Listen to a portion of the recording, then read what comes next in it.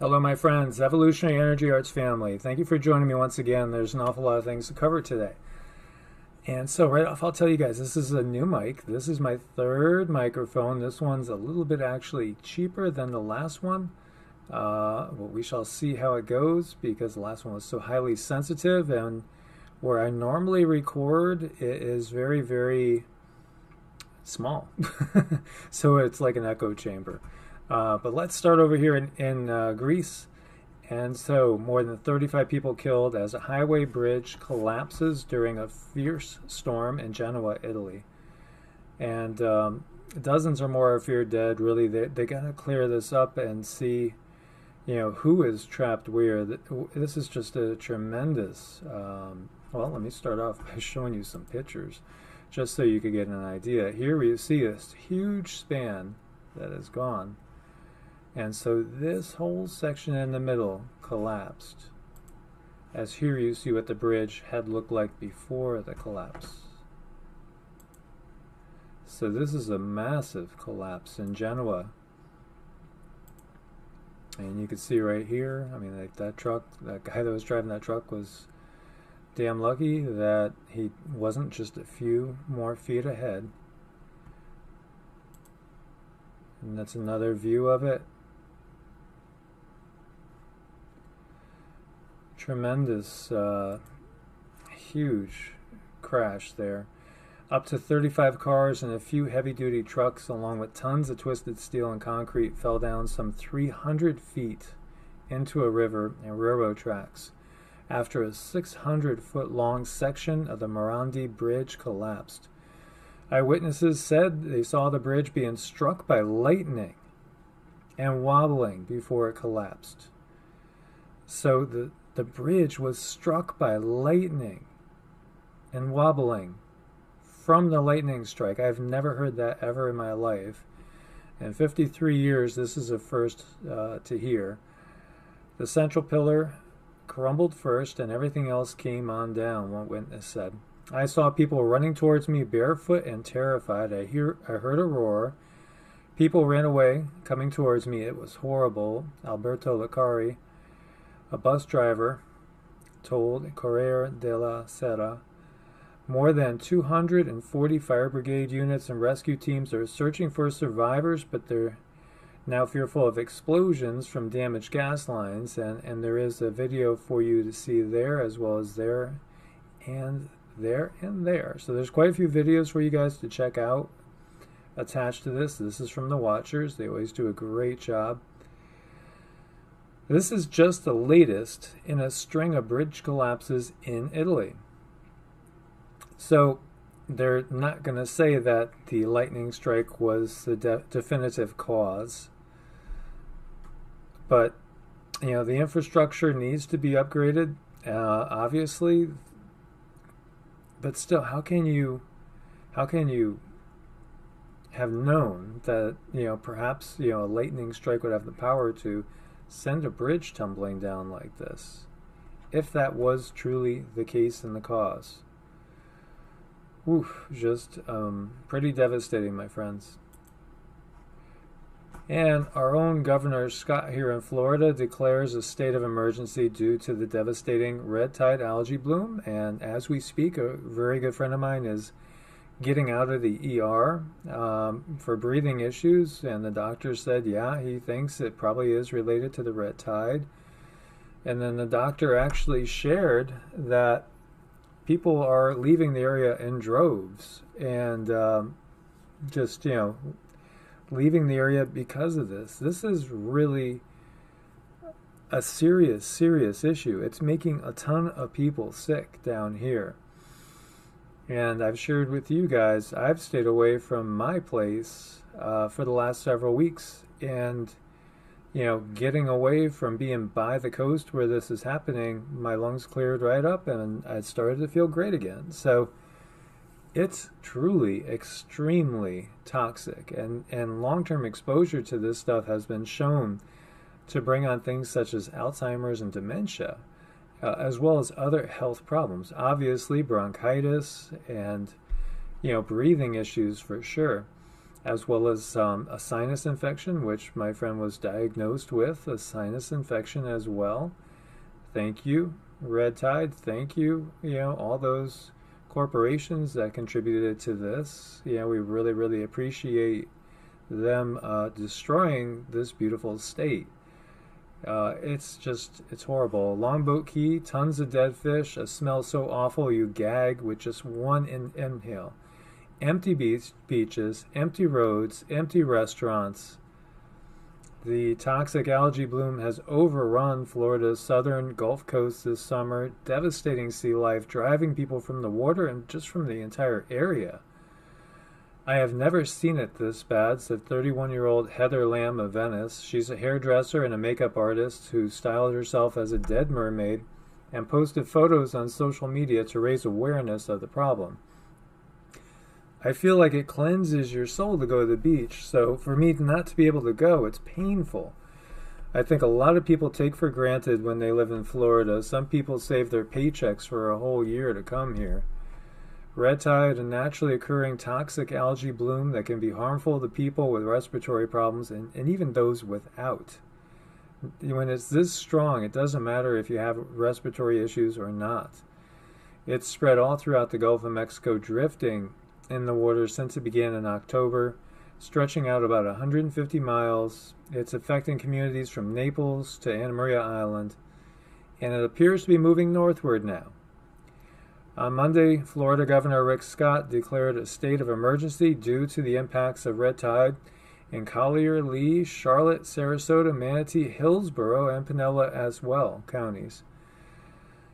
Through the executive order, Scott is providing state funding to local governments and research agencies, allowing the rapid movement of resources to local communities in response to red tide impacts in southwest Florida and Tampa Bay and uh, I mean it's it's it's just killed so so many. In late July, a 26 foot long whale shark washed ashore in Sanibel.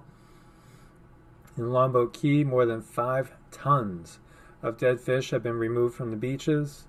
This week, nine dead dolphins were found in Sarasota County.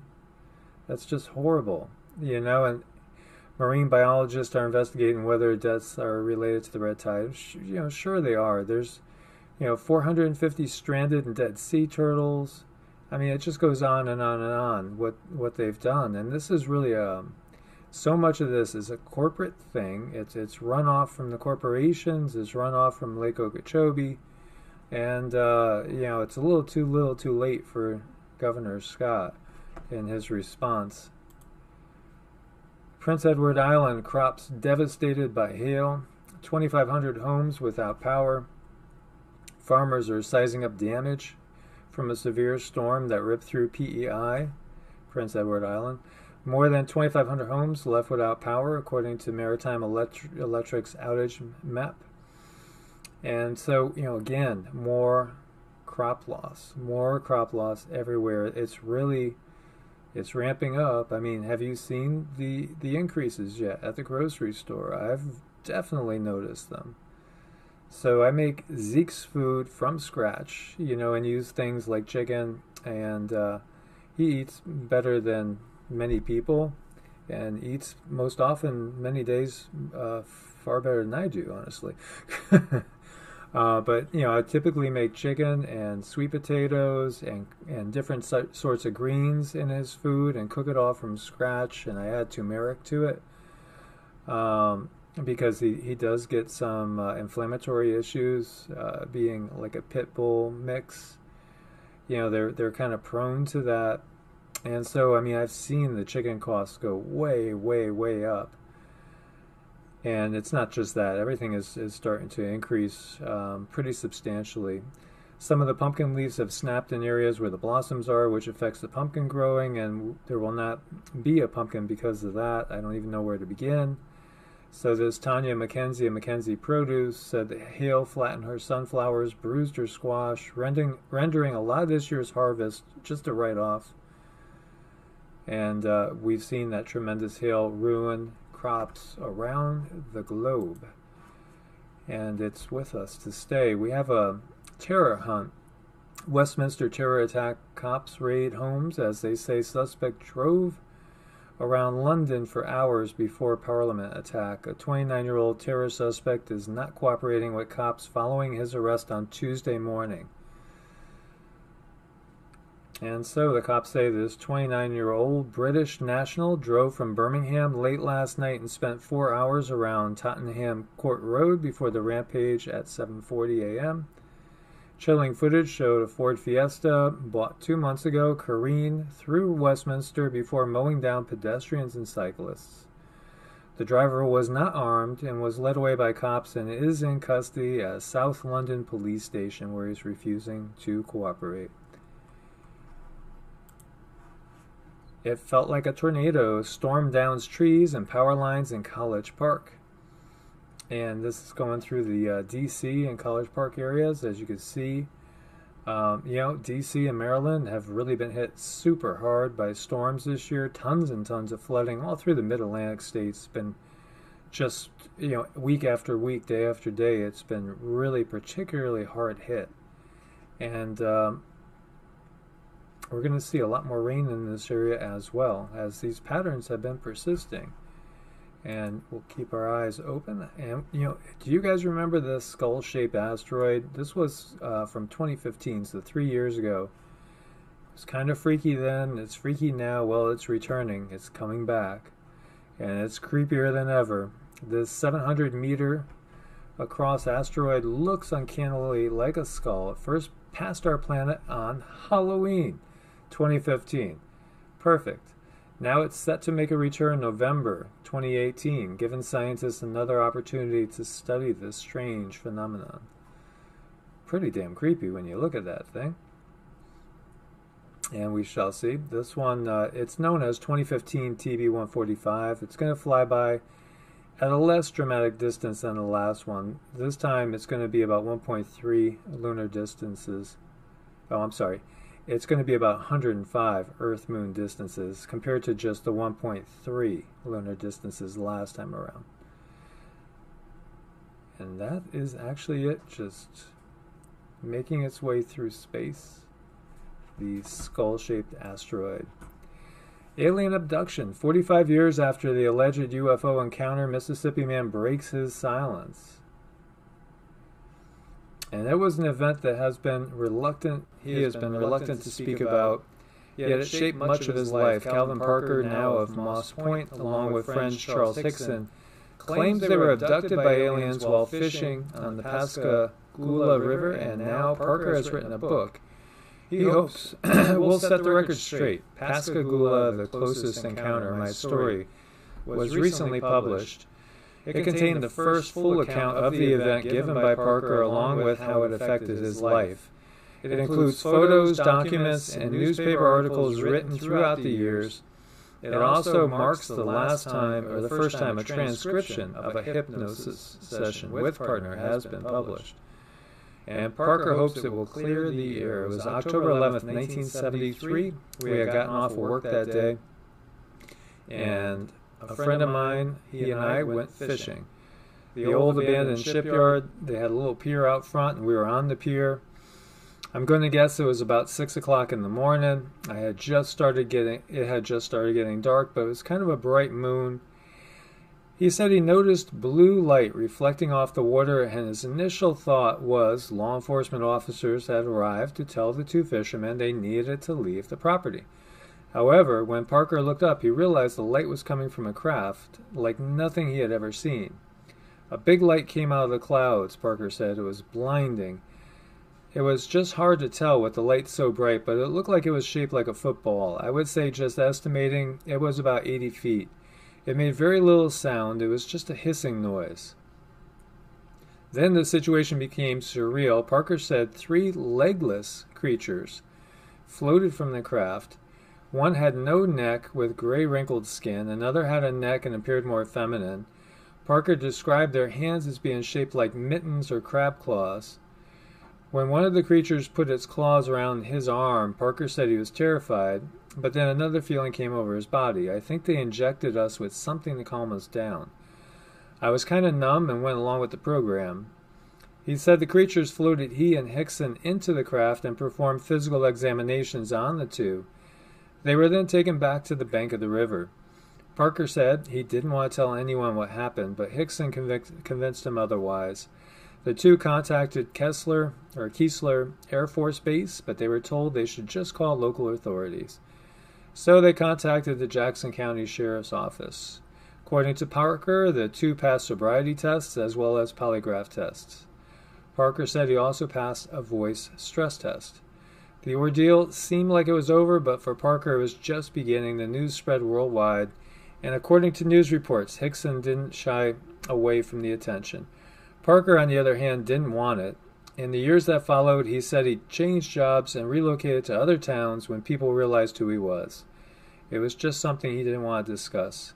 So I've been going through 45 years of this this October. I've never talked about it or wanted to talk about it. I have very few friends, but they are true friends. They never ask about it, and I never talked about it. My family never talks about it. After decades of largely not discussing the event, Parker began to change his mind. After attending a funeral, we came in contact with people he hadn't seen in many years, and they felt more, f- and he felt they focused more attention on him than the deceased. I signed the registry at the funeral, and the people recognized my name out of respect for the family I just left. My wife told me on the way home, You need to write about it. So we considered what happened at the funeral, and after years of speculation about what happened on the night, on the river and his health, he eventually agreed. I felt like everyone deserved an explanation, everyone has an expiration date, and I wanted to get this out before I die. I've had some near death experiences and I'm in bad health, so I just wanted to do it, he shares. And so, it felt like it lifted a weight off his shoulders getting it out there. So, what do you guys be- believe? Do you think there's alien abductions that happen? If you've been listening to this channel um, for quite a while, you'll know that I do completely uh, and have absolutely no doubts about it. None, absolutely at all. As I've shared with you guys, um, and one of the reasons why I always get so maybe a little bit fluxed uh, when people just want to make everything be a demon it's because um, I've had these experiences myself, so I could tell the difference between a demon and interdimensional slash ET and uh, something more angelic. Um, there are differences; they're not all the same thing, and um, you know, as somebody that's experienced it firsthand, it's real, and I think it's part of uh, the the ant farm that we live on here. Uh, we're we're being watched by groups that have exper- experimented on us for thousands of years, and you know, in all likelihood, have been altering us genetically as they've gone along for whatever purpose and reason. Um, it's just part of their bigger plan, and so I'm a believer. So this one, UFO conspiracy theorists embrace a shaky video taken at North Carolina's Lake Norman, which I know very, very well, and having lived in both North Carolina and South Carolina, and here you could see it, this object. Now, you know, the video is very, very shaky, and so you guys will have to um, make your own opinions on this. Is this CGI? Um, I'll let you guys play it on your own. Is it CGI on top of it? Hard to say. Um, it's, it's clearly interesting. I do totally think the big triangles are really ours. They're humans uh, controlling the big triangles. Different case with some of the you could you have a mixed bag when it comes to the saucers because we know the Nazis were making their own versions of saucers for quite a while. And so there are probably humans on board many, many saucers, as well as perhaps uh, things other than human as well. So this video is definitely gaining traction on social media and is suggesting a huge UFO was recently spotted over North Carolina's Lake Norman, which is just north of Charlotte. And this footage is from May 29th by Jason Swing. It shows a long, slender object hovering for more than two minutes over the man made lake and Swing calmly calls the object a spacecraft in his video. It's been raining all morning. Rain finally stopped, so we went to pick up a boat from Lake Norman. When I come around the corner, I see that thing sitting still very close. So, see what you guys think. You know, see what your feelings are. Is it real? Cigar shaped UFOs are supposedly reptilian or Draco in origin. And so, you know, if this is that, then it would perhaps be a Draco ship, a reptilian ship. But you guys make your own opinions. Russian warships enter Gibraltar waters for combat training days after the Royal Navy intercepted them in the English Channel. Two vessels sail past the British territory on the way to Mediterranean Sea in the week for the weekend, and here you can see the two Russian vessels with the British vessel, you know, uh, following. And you know, again, it's all the World War III hype fears. Conspiracy theories are more rampant than ever. Can they be stopped? Why would you want them to be stopped? As they're turning out to be, you know, for the most part, we're finding that most of the conspiracy theories have been kind of right the whole time. Uh, so many of them have. I don't think that, you know, I don't think it's something that we uh, even need to debate, really. I mean, do you guys think that? I mean, I go way back. So, I mean, I remember uh, thinking about nonstick pans. You know, they were going to be an issue, and turns out they were an issue going back to the 80s. You know, where people were starting to warn about the health uh, risks with them, health risks associated with microwaves, which, which again, you know, there are. Um, chemtrails, which now I think most people recognize. Yeah, they're spraying. I mean, there's so many declassified documents as well. Um, we could go on and on and on about this. I mean, think about how many people thought maybe there was a shadow government back in, say, the 70s, the 80s, even the 90s. Now, I think the vast majority of people recognize there's a shadow government. The Illuminati conspiracy, I mean, all these, it goes on and on and on. And of course, they're looking at Q. It goes on and on and on. So, you know, it's not like why would you want to stop the conspiracy theories? Unless you want to just basically get rid of the First Amendment, which is happening, as, as we have been making note of. Because, yeah, conspiracy theorists, much of the time, are way ahead of the curve.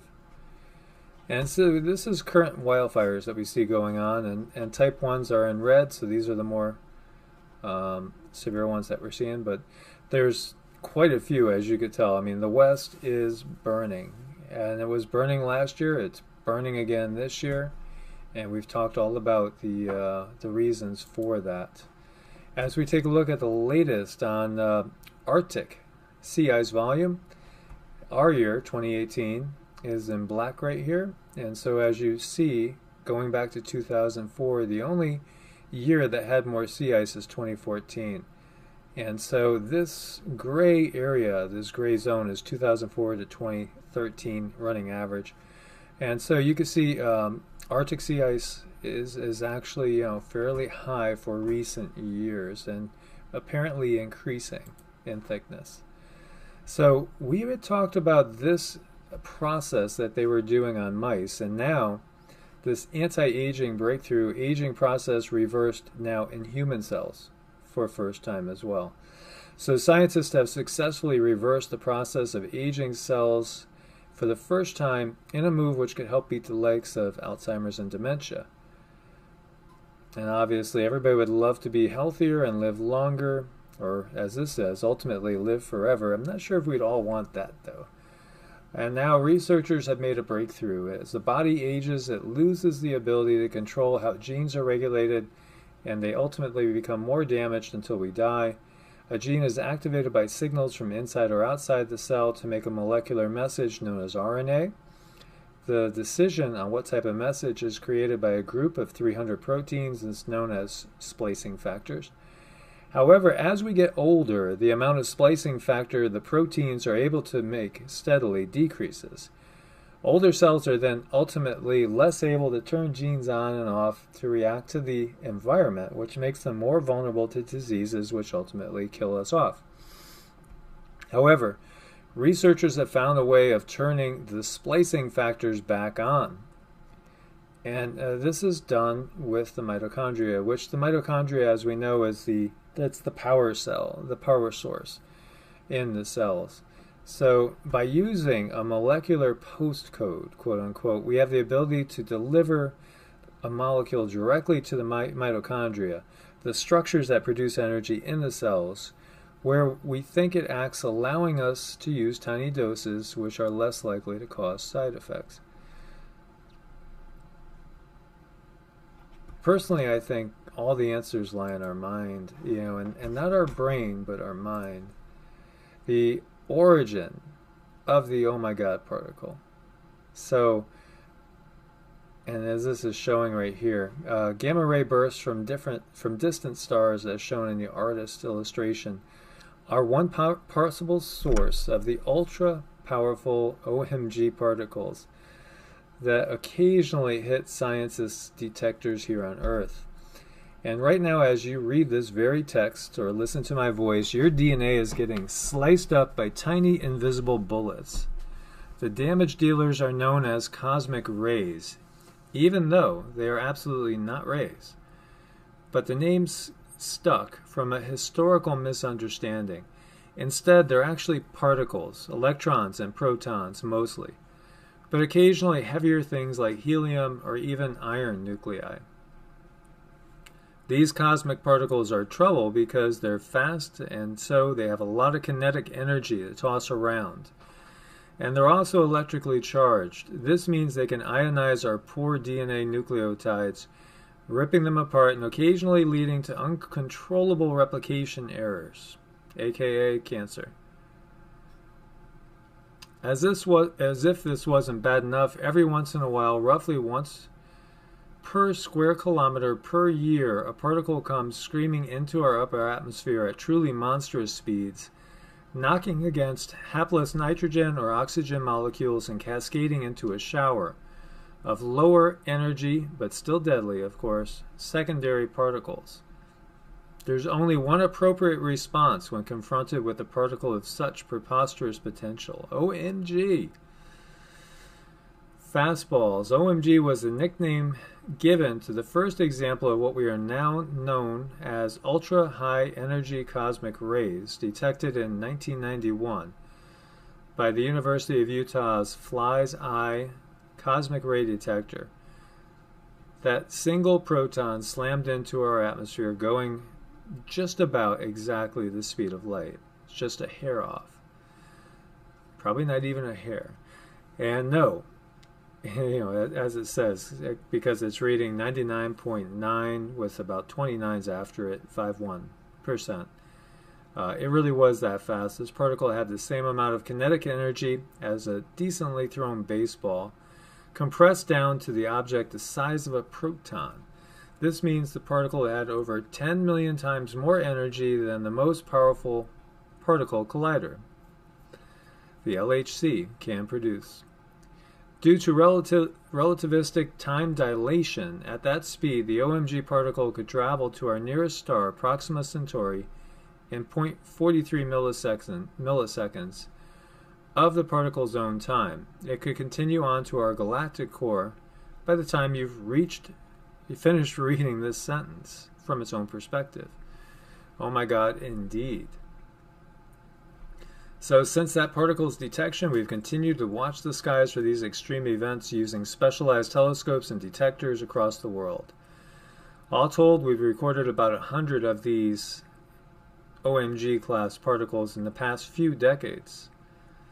And those few dozen examples both elucidate and deepen the mysteries of their origin. More data is always good, but what the heck in our universe is powerful enough to give a proton a good enough crack that it could almost, almost challenge light itself to a race? And that's that's a uh, a good thing. And they go into different possibilities, including supernovas and various types of magnetic fields. And uh, honestly, they just don't know.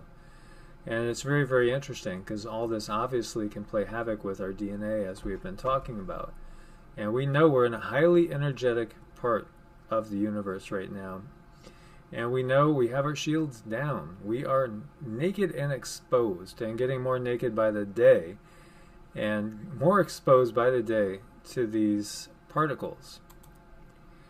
So this is, you know, very interesting stuff. Vagus nerve stimulation, right? Vagus nerve stimulation dramatically reduces inflammation. Stimulating the vagus nerve reduces inflammation and the symptoms of arthritis. And so many of you might not be familiar with this nerve, but we'll get into it a little bit here. Inflammatory responses play a central role in the development and persistence of many diseases and can lead to debilitating chronic pain. And in, flat, in fact, everything is about inflammatory response when you get down to so many diseases, you know, especially autoimmune and, and, and chronic ones. In many cases, inflammation is your body's response to, to stress. Therefore, reducing fight or flight responses in the nervous system and lowering biological markers for stress can also reduce inflammation. Typically, doctors prescribe medications to combat Im- inflammation. However, there's growing evidence that another way to combat inflammation is by engaging the vagus nerve and improving vagal tone. And guess how this could be done? Take a guess, guys. This can be achieved through daily habits such as yoga and meditation, Tai Chi, and Qigong. So, if you want a little bit more of a physical explanation for why Qigong, Tai Chi, yoga, and meditation are so powerful, it's the effect they have on this particular nerve as well as the whole nervous system in general. And this is part of what we're discovering. So, your mind can basically help with inflammation. And this is a simple explanation of why. And your mind can cure so many illnesses. And as they're saying, this can be achieved through daily habits such as yoga, meditation, qigong, tai chi, or in more extreme cases of inflammation such as rheumatoid arthritis by using an implanted device. But let's not go that route yet. Excuse me there. And so, you know, there's there's no re you know, the medical profession, of course, they look at it like, well, we can implant the device and we can make, you know, seven hundred fifty thousand dollars on this procedure or a million dollars on this procedure. Well, that's why they want to implant a device in you because they want to make money. You know, just take save your money and learn a healthy habit like yoga or qigong and meditation because these are transformative. The vagus nerve is known as the wandering nerve because it has multiple branches that diverge from two thick stems rooted in the cerebellum and the brainstem that wander to the lowest viscera of your abdomen, touching your heart and most major organs along the way. Vagus means wandering in Latin. The words vagabond, vague, and vagrant are all derived from the same Latin root. So in 1921, a German physiologist named Otto Loewi discovered that stimulating the vagus nerve caused a reduction in the heart rate by triggering a release of a substance he called Vagusstoff, German for vagus substance. The vagus substance was later identified as a acetylcholine and became the first neurotransmitter ever identified by scientists. So, acetylcholine is like a tranquilizer that you can self administer simply by taking a few deep breaths with long inhales, with long exhales. Consciously tapping into the power of your vagus nerve can create a state of inner calm while taming your inflammation reflex. The vagus nerve is the prime component of the parasympathetic nervous system, which regulates the rest and digest or the tend and befriend responses. On the flip side, to maintain homeostasis, the sympathetic nervous system drives the fight or flight response. So, healthy vagal tone is part of a feedback loop linked to positive emotions.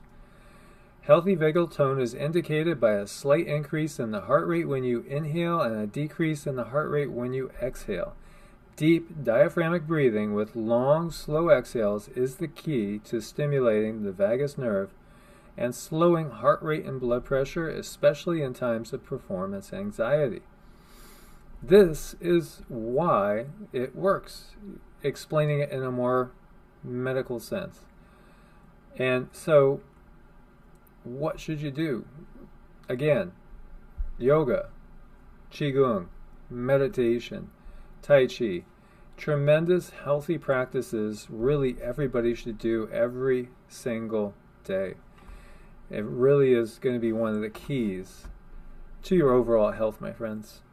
And so, as always, please do thumbs up to support the channel, subscribe, and join our family, which is growing. Click the bell, make sure you get all the updates, share with as many people as possible and double check your uh, subscription. Make sure it's still active. So many people are not getting uh, notifications, but there'll be a, a, video every single day, maybe 360 days of the year. Um, so, my friends, may you always be blessed and guided from above and from within. May you be blessed with abundant peace, love, happiness, and wellness, and good health. And may you always be kept safe now and forever, my friends. God bless and namaste.